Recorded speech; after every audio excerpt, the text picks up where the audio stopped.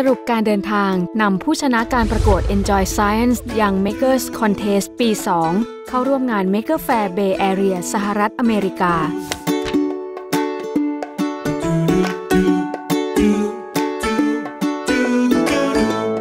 ความช่างคิดช่างประดิษฐ์ของกลุ่มคนที่เรียกว่าเมคเกอร์ก็ให้เกิดผลงานสิ่งประดิษฐ์แปลกใหม่ ที่เต็มไปด้วยไอเดียสร้างสรรค์ Maker ยังเต็มใจที่จะแบ่งปันข้อมูลความรู้ และความสนุกแก่ผู้ที่สนใจ จนกลายมาเป็นวัฒนธรรม maker ที่กำลังเติบโตแผ่ขยายไปทั่วโลก และมีงาน Maker Faire เป็นอีเวนต์สำคัญ ให้บรรดา Maker นำผลงานสิ่งประดิษฐ์ของตนเองมาอวดสู่สายตาชาวโลก ในปีนี้เยาวชนไทยผู้ชนะการประกวดจากโครงการ Enjoy Science Young Makers Contest ปี 2 พร้อมด้วยอาจารย์ที่ปรึกษา และ Maker พี่เลี้ยง ได้มีโอกาสสัมผัสประสบการณ์ครั้งสำคัญ โดยได้ร่วมเป็นส่วนหนึ่งของงาน Maker Fair Bay Area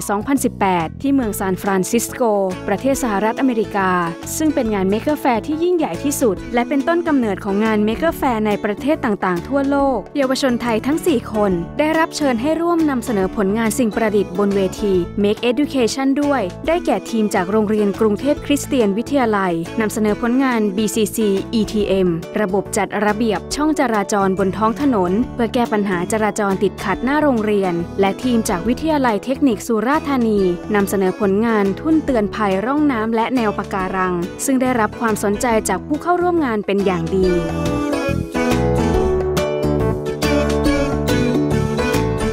ก็จากที่ผมได้มาดูได้ดูรอบๆงานเนี่ยครับก็พบว่ารู้สึกประทับใจของเทคโนโลยีที่ฝรั่งได้ผลิตขึ้นมาครับซึ่งเป็นการผสมระหว่างอิเล็กทรอนิกส์กับ mechanics ซึ่งสามารถสร้างหุ่นยนต์ได้อย่างเป็นตัวครับของผมนะคือผมชอบด้านที่ว่าไอเดียของคนที่เนี่ยครับคือเขาไม่เหมือนคนไทยอะแล้วคือเหมือนกับว่าของที่นี่เขาจะเจ๋งกว่าเยอะเลยความรู้สึกที่ได้มางาน Maker Faire Bay Area ที่ซานฟรานซิสโกผมก็รู้สึกประทับใจเป็นอย่างมากครับ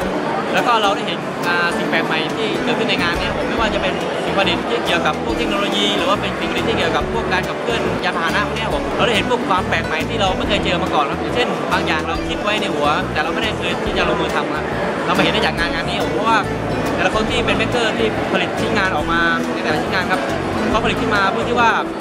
เป็นสิ่งที่เขาอยากจะทำครับผมไม่ใช่เป็นสิ่งที่ว่าเขาต้องการจะเอานำมาขายหรือว่าอะไรนะครับบางทีเป็นสิ่งที่เขาอยากจะทำแค่นั้นก็พอแล้วครับสำหรับผมเนี่ยคืออย่างแรกเลยงานมันใหญ่มาก แล้วก็ชิ้นงาน maker ใหญ่ๆเนี่ยเยอะมาก แล้วก็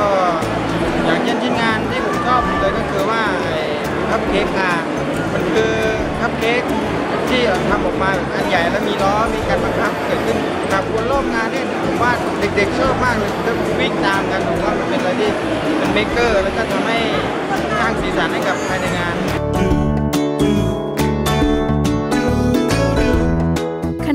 นะการประกวด Enjoy Science Young Makers Contest ยังได้มีโอกาสเข้าเยี่ยมชมสำนักงานใหญ่ของบริษัทเชฟรอน ที่เมืองซานรามอนมลรัฐแคลิฟอร์เนีย พร้อมทั้งนำเสนอโครงการสิ่งประดิษฐ์แก่คณะผู้บริหารของเชฟรอน ทดลองฝึกใช้ simulator จำลองสถานการณ์นำเรือเข้าเทียบท่า ทดลองใช้เทคโนโลยี VR สำรวจแท่นขุดเจาะน้ำมันกลางทะเลของเชฟรอน รวมทั้งเข้าเยี่ยมชมสนามกีฬา Levi's Stadium ที่บริษัทเชฟรอนให้การสนับสนุนการเรียนการสอนแบบ STEM ศึกษา ผ่านกิจกรรมที่เกี่ยวข้องกับกีฬาอเมริกันฟุตบอล และการออกแบบสนามกีฬา นอกจากนี้ผู้ชนะการประกวดอย่าง Makers Contest ยังได้เยี่ยมชม Autodesk P9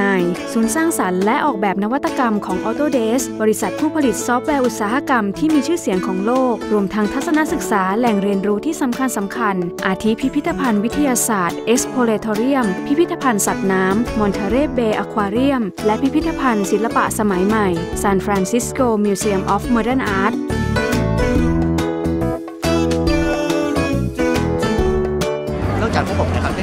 ได้มีโอกาสเข้าร่วม Maker Fair นะครับก็ยังได้มีโอกาสเข้าการศึกษานะครับในที่ต่างๆ เช่น Exploratorium นะครับซึ่งเป็นพิพิธภัณฑ์เกี่ยวกับเรื่องฟิสิกส์นะครับวารศาสตร์หรือว่าไฟฟ้าต่างๆที่น่าสนใจมากๆเลยครับก็ยังได้ไป Aquarium ของซานฟรานซิสโกอีกด้วยครับครับแล้วสุดท้ายนี้ครับผมก็ต้องขอขอบคุณนะเชฟรอนนะแล้วก็ทางผู้ใหญ่ใจดีนะที่ให้โอกาสพวกผมนะได้มาศึกษาดูงานถึงต่างประเทศนะครับครับแล้วก็อยากจะเชิญชวนทุกคนนะครับที่เพื่อนๆพี่น้องๆนะครับที่สนใจที่เชื่อเป็น maker นะครับ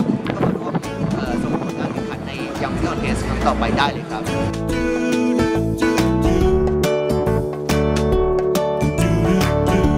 มีโอกาสได้ไปทัศนศึกษาตามแหล่งที่เรียนรู้ต่างๆ ครับ เช่น Exploratorium Museum นะครับซึ่งเป็นพิพิธภัณฑ์ที่เป็นเกี่ยวกับวิทยาศาสตร์นะครับผมในแต่ละด้านนะครับ ไม่ว่าจะเป็นฟิสิกส์เคมี หรือว่าจะเป็นพวกชีวะพวกนี้นะครับ มีรวมอยู่ในพิพิธภัณฑ์แห่งนั้นเลยครับ ส่วนผมเนี่ยนอกจากงาน Maker Faire แล้วก็คือ Autodesk ก็คือเป็นบริษัทที่อยู่เบื้องหลังเป็นบริษัท ที่มีซอฟต์แวร์ที่ผมใช้อยู่ประจำวัน แต่ว่าถ้าไม่รู้ว่าใครเป็นคนพัฒนาก็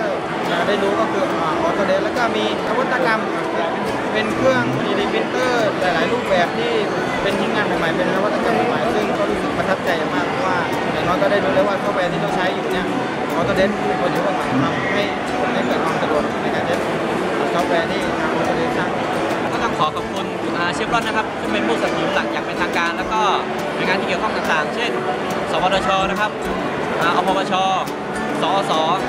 แล้วก็คีนันโอเอเชียนะครับ ซึ่งเป็นผู้สนับสนุนหลัก แล้วก็ทำให้เกิดโครงการดีๆ อย่างโครงการ Young Makers Contest ขึ้นมาได้ครับครับสำหรับอ่าน้องๆที่อยากจะเข้าร่วมหรืออยากจะมีประสบการณ์แบบนี้นะครับ ก็อยากเชิญชวนอยากให้เข้ามาเข้าร่วมโครงการ Enjoy Science Young Makers Contest ก็คือสมัครกันมาได้เลยปีนี้ก็มีเหมือนกันนะครับก็ลองสมัครเข้ามาแล้วก็ลองส่งชิ้นอ่าส่ง ประกวดชิ้นงานตามคอนเซ็ปต์ที่เขาให้ไปโอกาสและประสบการณ์ที่คุ้มค่าของเยาวชนไทยในครั้งนี้ น่าจะเป็นอีกหนึ่งแรงบันดาลใจ ที่ช่วยกระตุ้นความสนใจใฝ่รู้ด้านวิทยาศาสตร์ เทคโนโลยีและนวัตกรรม ให้แก่เด็กและเยาวชนไทย บนเส้นทางสู่สังคมแห่งการประดิษฐ์คิดค้น เพื่อเป็นกำลังสำคัญของการพัฒนาประเทศไทยต่อไปในอนาคต